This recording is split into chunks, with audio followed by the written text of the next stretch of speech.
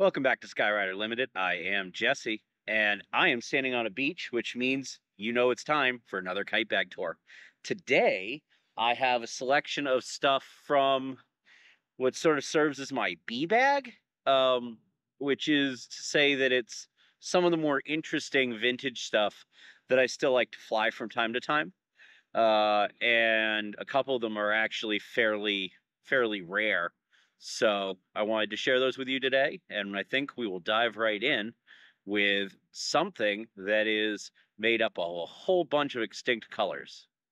So as of the time of recording this, uh, I recently learned uh, that teal is now an extinct um, Icarex color. So with that in mind, there is only one color in this kite that is in production, uh, so this is a Benson Outerspace, uh, not to be confused with the indoor kite, the Inner Space, or the later freestyle kite, the Deep Space.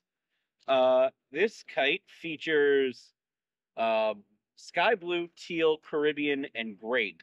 Uh, the only color that is still in production is the sky blue, and it's a very early outer space, uh, framed and all pultruded. Um, it's a fun little kite. Um, it likes to kind of spin and it has a bit of oversteer and it just hangs in a fade for days. Um, it's pretty precise too, despite its kind of want to oversteer. You just have to be mindful of it, but it'll fly a pretty pretty nice straight line. Um, it's a lot of fun, and so I dig it out periodically. I got really lucky with this one. Um, I found this, uh, an unflown one, uh, almost the exact same age. Um, in uh, neon orange, gray, and black, uh, and a blue and neon orange, uh, a royal blue and neon orange inner space on eBay uh, as an estate sale, and uh, I picked them up for for a, a, real song. I got very lucky. I uh, I threw an offer out and and really didn't expect it to get accepted, and then it was, and then I had kites, which is always a fun day. Um, it's a fun kite. I, I, I admit I haven't quite completely gotten to terms with its game. Um, I've spent so much time recently with newer kites that going back to stuff without tail weights, and I, I always have struggled a little with pultruded frames. So it's uh it's interesting and it's a fun sort of like figure it out diversion to play with something, you know, bouncy and a little smaller and something you can kind of throw around but not throw around all at once. Uh, so I like taking it out periodically just to as much challenge myself as anything. Uh, so I think from here we're going to move to another vintage kite that is also the newest kite I have acquired. So uh, story time. While I was on my road trip to Kite Party, uh, there was a, matri- a FlexiFoil Matrix on eBay uh, in the monochrome color, which I've said a couple of times is one of the other colorways I I always wanted. It's the color I fell in love with the Matrix first in. Uh, it was for sale in the UK on eBay, and it was not set to ship to the US. I reached out to the seller uh, and basically said, "Hey, I'm interested, but you don't have it set to ship to the US. Can you either change it or if it doesn't sell, can you relist it with shipping to the US and I'll buy it? Well, he was very amenable to that, but don't you know it? Somebody snuck up and sniped me right out of that kite. But uh and and first of all, huge shout out to Will Knight over in the UK, who is uh quite the finder of vintage kites and things. Uh, Will, thank you again. I know I've said it a couple of times in our messages, traffic, and everything. Thank you again. The kite is gorgeous, and I do absolutely love it. I flew it today, and it flies amazing. Uh, so, Will reaches out and says, "Really sorry that one sold. I have another one." I said, "Okay, cool. What you got?" And what he had was this. Um, I had never actually seen one of these in person. Uh, the purple, um, the asymmetric purple, plum, grape, and purple. Um, and it's in really good shape. Um, so I've had it like a little over a week. Uh, first thing I did is I did with the rainbow kite that you guys have seen before. I changed it over to the three point bridle. Um, the original turbo bridle is such an artifact of its time it's uh, nearly as long as the kite is wide. Uh, it's very sluggish by comparison. This kite is so much more capable than that turbo bridle lets it be. Uh, this three point bridle was sort of the preferred bridle of Aircraft and Evolver, uh, some of the great British teams that flew the kite. Uh, and I I got some specs from uh, from a guy over in the UK who had one that Carl Robertshaw had tied. It was good, but not perfect. We then got our hands on another kite, and actually one of the uh, the ULS ULs that Carl had built in the later run uh, when he took over doing them with his studio. Uh, and we found where the error in translation was, and I've since cleaned up the bridle both on the rainbow kite and with the help of Devin from Canvas, whose UL we measured, uh, and then this bridle that I tied. Uh, and um, boy, it's good. Uh, the Matrix is the progenitor of so much of what we do now, and we don't even realize it. Um, the kite flat spins and it flick flacks and it backspins and it Jacob flatters. And the dot matrix, the baby one, just does them all more willingly because it's a smaller kite. But this thing, other than just a massive altitude drop when you make the transition from flare to fade, uh, is really remarkably good at doing doing the things. Uh, and it's pretty.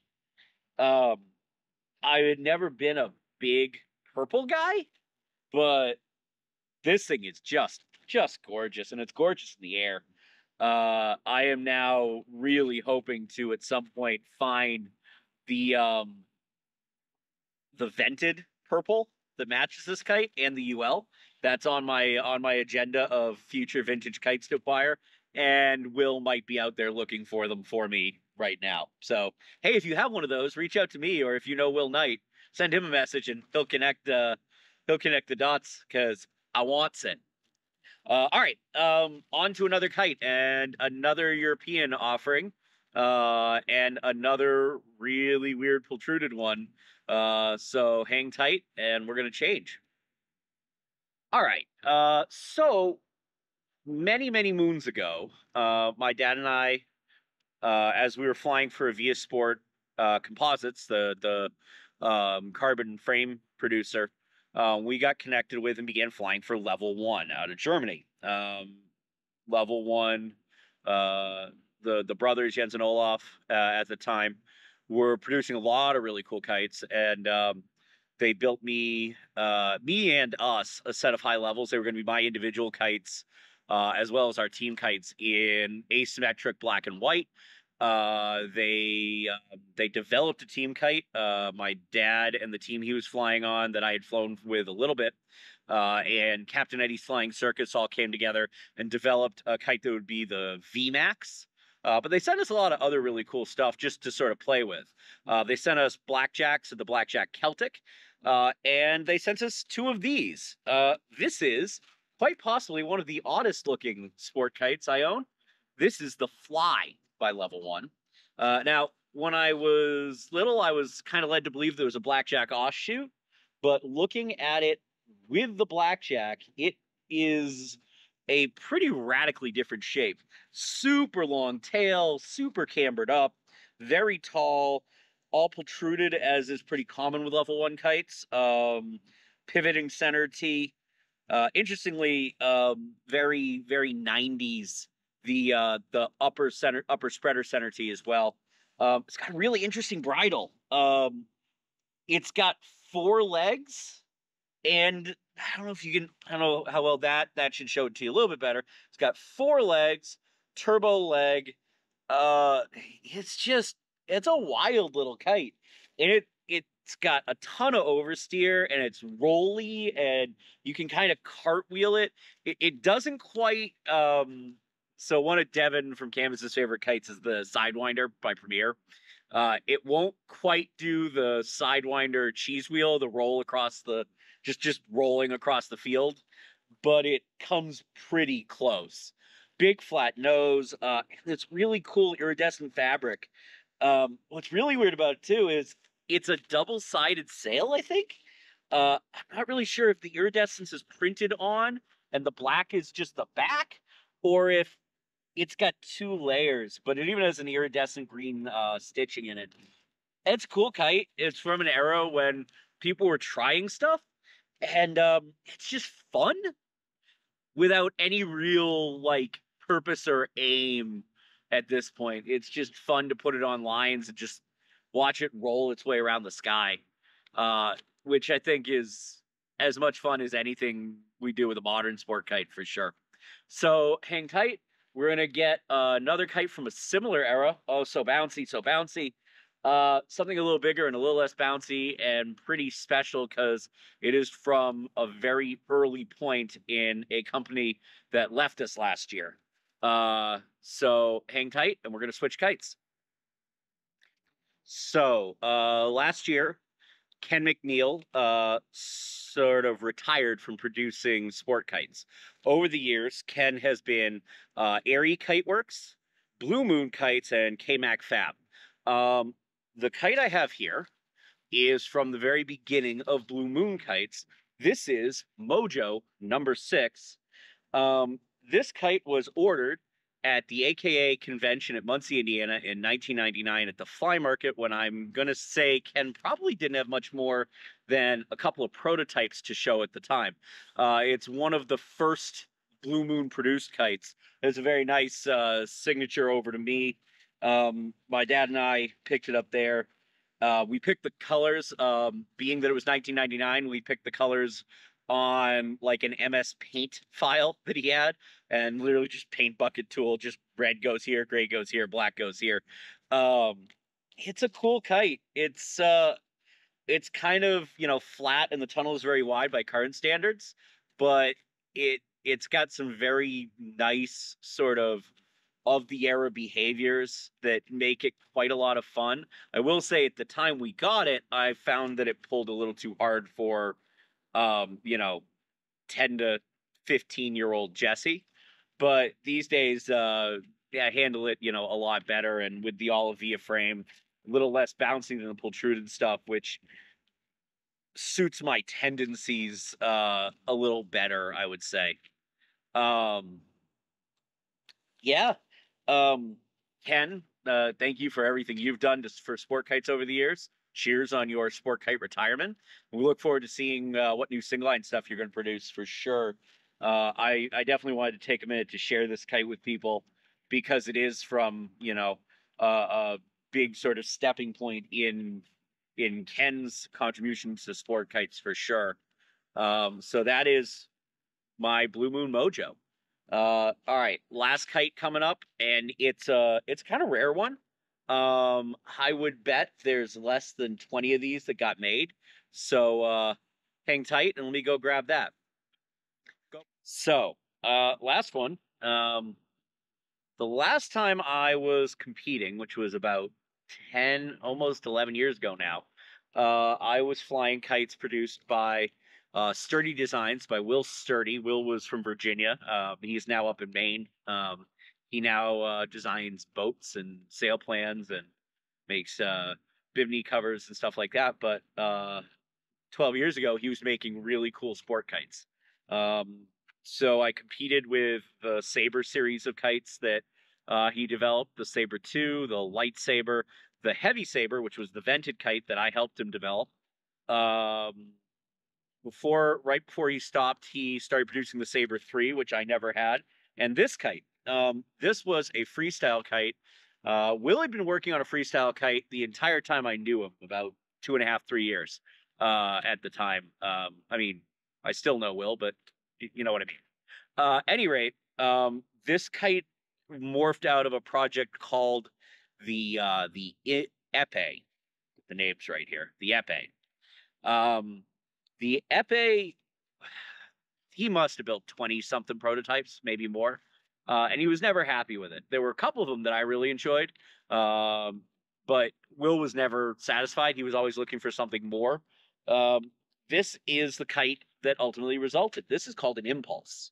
Um, this is Will's freestyle kite. It has an incredibly skinny wingtip. It is fairly small with a pretty deep tunnel there. Of course, uh, as we've uh, come to learn in Jesse's favorite color of red, um, P200 frame with 5 PT, um, black diamond, 5 PT lower spreaders. Quick note um, I see this thrown around a lot. Just so we're all on the same page here, uh, black diamond doesn't exist anymore. It was a clear coat process. It didn't really do anything except make the sticks slicker and a lot prettier. Um, nitros still exist, but black diamond nitros do not, for example. Um, there are uh, pretty much none left in the market. I went looking. Um, they don't exist. Uh, it made the stick about a gram, half a gram heavier. It really didn't change the flex characteristics too much. Uh, it was pretty, but it didn't really do much in terms of performance. Um, so a couple of interesting things on the kite. Um, R Sky center T and R uh, R Sky um, yo-yo stoppers, uh, all APA fittings. Um, it was a lot of fun, if a little vexing. Um, it is a kite kind of like the Crux, but not as like Sour Patch Kid, where the Crux is like stabs you in the back, but sweet, but stabs you in the back. This thing just kind of is like false sense of security, death from above, no real middle ground. Um, every time I think I've got a handle on what this kite's doing and what it's about, stabs me. I want to love it. I want to love it so very much, and I keep trying to love it. It keeps stabbing me. I'm going to keep trying. It's like trying to hug a, a porcupine. It's cute. Hedgehogs are cute. They should be they should be huggable, but they are not. Uh, so here we are. Uh, don't pet the black and white kitty. Don't hug the hedgehog. None of those things will will end well for you. Uh, but the impulse will one day. I'm sure of it. I will find I will find the uh, the recipe and I will come to terms with the kite and it will be fun. I know it will. So, um, like I said, this one's pretty rare.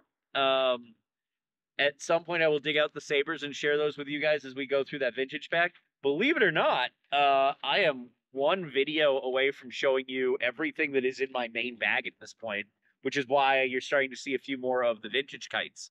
Um, thank you so much for watching and subscribing and liking, and I hope you've been enjoying some of the other content like the uh, Kite Maker Corner videos uh, and some of the flying videos. And we'll see you next time. See you out there, Skyrider.